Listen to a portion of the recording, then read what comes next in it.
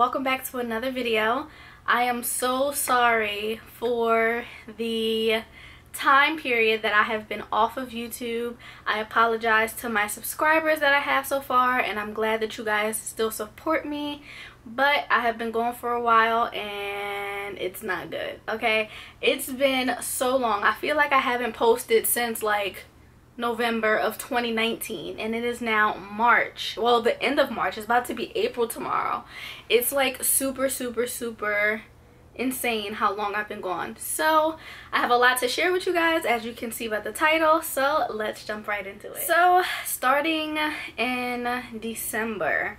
So in December of 2019, as you guys um, may have heard from my previous videos, when I did post back in November, I graduated from college. So I graduated from Penn State University, Berks campus, um, in December, uh, December 20th to be exact. And that was an amazing time for me. I was so happy to be out of there. We'll get into that in another video on why I'm so happy to be gone from Penn State Berks other than graduating. Yeah.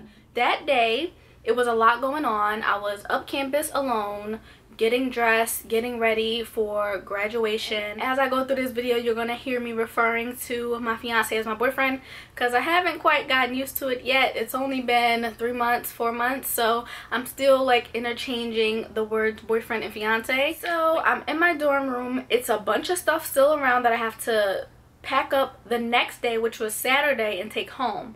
So it's just everything laid around in my room some stuff packed up some stuff laid out. So I make sure I got my graduation gown I make sure I got my outfit my heels my jewelry everything I need in order to leave uh, the campus to go to graduation. Once that happens I put my graduation gown inside the shower and I turn the shower on and I let it steam to take out the wrinkles because I didn't want to take the chance of ironing it and messing it up on the day of graduation. Like everything is so last minute. I didn't steam it before. Like I did it that day, um, probably an hour before graduation started. So all that stuff passed. Um, I make a couple phone calls, talking to some friends, um, seeing how the venue is, talking to my family, talking to my fiance and everything. And then I get dressed. I call my fiance, letting him know, hey, I'm about to go, um, you know, head out. I'm about to get in the Uber, go to the center for graduation because it was at an arena this year instead of our campus. So I call an Uber. We're driving to graduation. It probably was like 12 minutes away from campus. Like it wasn't far at all. So I arrive at the building. I come in. I see my teachers. I see my fellow classmates. I see my fellow campus friends or people, whatever you want to call them and you know we're all just excited we're all nervous like oh my god we're about to walk out about to graduate like we're about to enter the adult world whatever. So they give us this little pin thing that says uh, seniors or whatever um, that we're supposed to put on our gown. So we did that and then I went to my designated area. So they set up the they set up the um, seats where we were sitting before we entered into the graduation with everybody in the audience um, we sat in our designated majors. So if you don't know if you're new to my channel or is this your first video that you're viewing I was a kinesiology major uh, that is a bachelor's degree in kinesiology that I graduated with from Penn State. Um, so yeah we sat in each major you know business and nursing and health and this and that. So we sat in our designated areas and we waited for about a good hour and a half before graduation started, honestly.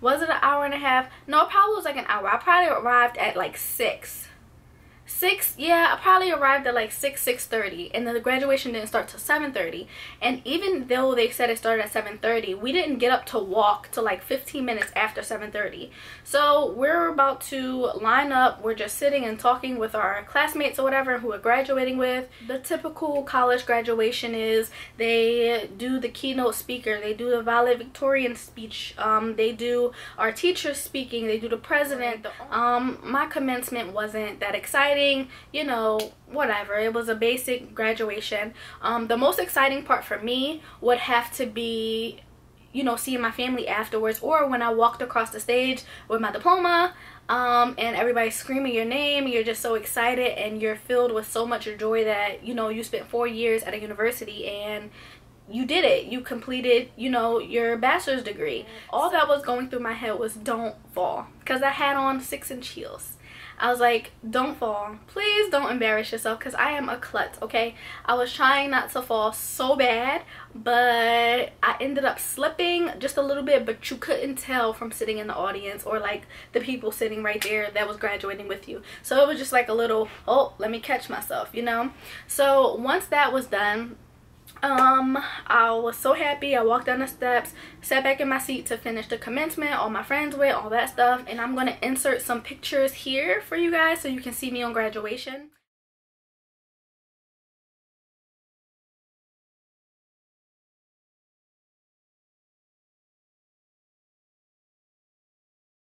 That was that was graduation. Like it wasn't nothing special. I'm excited that i graduated. The thing that i am excited about uh, for graduation was my graduation cap.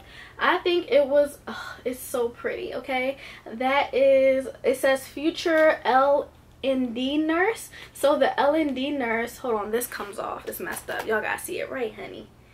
So basically, the it's L&D for labor and delivery nurse. That's what I want to do. That's what I'm going um, to pursue now it's been a while. Um i've been out of school since december but i am studying for my nursing entrance exam and stuff like that. So that's what i want to do with my life. I just think it's really cute and i'm proud of it. I'm keeping it of course. It took about two almost three hours to make. It has like little um, onesies for a boy and a girl and then like little cotton swabs that move uh, pill bottles and stuff like that little gauze. So yeah I am really proud of this and that's why I kept it. I think I'm going to keep it forever, honestly. I like to keep stuff. In terms of the next topic, which I will be talking about, is my birthday party slash engagement slash graduation party. So, this was supposed to be a surprise, right? I eventually figured out that it was going on because some things needed my input. Um, I only knew that it was a graduation slash birthday party, which turned into my engagement. So um, here's the ring I'm going to show you guys before I get into it. So basically, so it turned into an engagement um, because of my now fiance. He told me that he's been planning to propose to me since October of 2019. He started looking at rings, I think.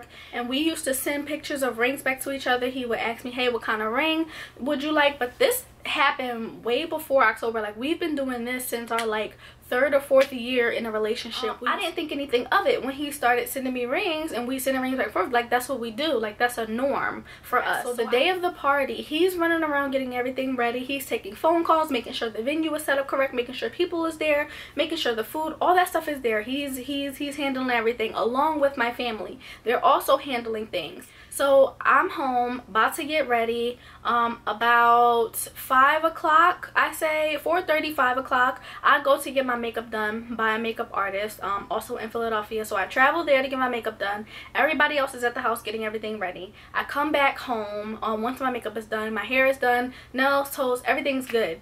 And then I wear, put on my dress. We're getting dressed um, me and his sister Lizzie, there she's helping me, you know, get dressed and everything while she's getting dressed because she's gonna ride with me to the party and walk in, you know, before I walk into the to the venue. So he comes in the door and he rushes upstairs. Mind you, he was supposed to be at the venue prior to me. So he walks in, um, he's like a little flustered and whatnot. I'll go in there, I'll talk to him because I noticed like he's a little, a little flustered. I'm like, well, what's wrong? He's like, nothing, just trying to get everything together. Of course, he's not going to ruin it and say, hey, like I'm proposing and I things are going bad so he's not telling me anything. So he's making a couple phone calls he's getting dressed and then he leaves. So me and his sister finally are dressed um we go downstairs. Uber finally comes. I go get the uber first now we're waiting for his sister. I have my purse i have everything together. So where the venue is it's like one big building and it was a pizza shop on the side of the building so they told me hey don't come in yet we're still getting a couple things together we're gonna call you or call liz when it's time to come into the venue. We're just talking, you know, chilling. Mind you, everybody know what's going on. Everybody know he's going to propose in our family, except for the guests. I don't think the guests knew. I just think the people in his mom's household, his sisters, his brothers, his cousins, everybody knew he was going to propose. So they start playing music, we start dancing. All my friends started to dwindle in and stuff like that after my after my entrance. Um, a couple of my friends were there, Diamond and Kiera. They were there already all my family and friends was there all his family and friends was there so it was really like it was nice you know it was it was a really good you know party um they had like an itinerary so people um all my friends all my family and stuff some of them came up um, to speak to me and say things, you know, nice about me and how we've been friends for a while and stuff like that. And then, you know, they go sit back down, then we eat and all that. And then we're standing up there and my cousin asks after my dad came up his mom came up um, a couple of my friends and asked you know does anybody else have anything else to say before we move on into you know the party and Malik was like, no, because I looked at him. And he was like, no, you know what to say. And then I turned around. I'm like, okay, well, we about to start dancing again. But by this time, I'm already a little tipsy, right? He comes from, he's right here. So he comes around and I turn to him like this. And we're talking. Oh, he's talking to me. And he's like, you know, everybody be quiet. I'm like, I got something to say, whatever. And I wasn't thinking anything of it, guys, because of the simple fact that I was a little drunk. I was a little tipsy, okay? And I didn't know what was going on. Like I wasn't paying attention that he might propose tonight. Like that was not on my mind whatsoever. So he you know says I'm gonna butcher this because I don't fully remember because I was drunk. But um he was like uh, we've been together for 80 months if you don't know. Um, so to signify that 80 months I got her 80 red roses. So then his little brother comes around with the 80 red roses. The 80 red roses guys.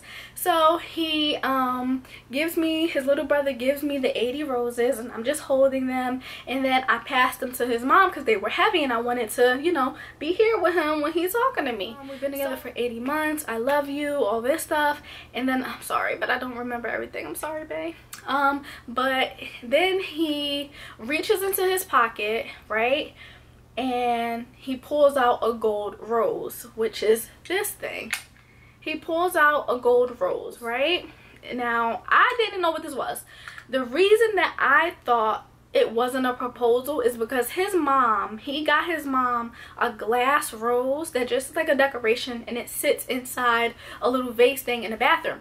I didn't think that it was anything. I thought he was giving me a gold rose to say hey you know it's a gold rose like uh here you go. Like this is for future to come. Never ever in a million years thought that that day he was going to propose to me at all.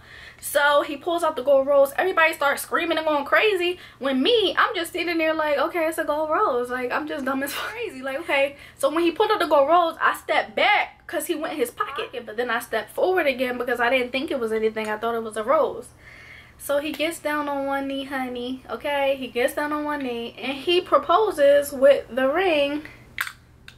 He proposes with the ring in there, right? So I'm like, okay, all right. I start jumping around, going crazy. I'm like, oh my God, he proposed and stuff like that. I do have a video that I'm going to insert from that night.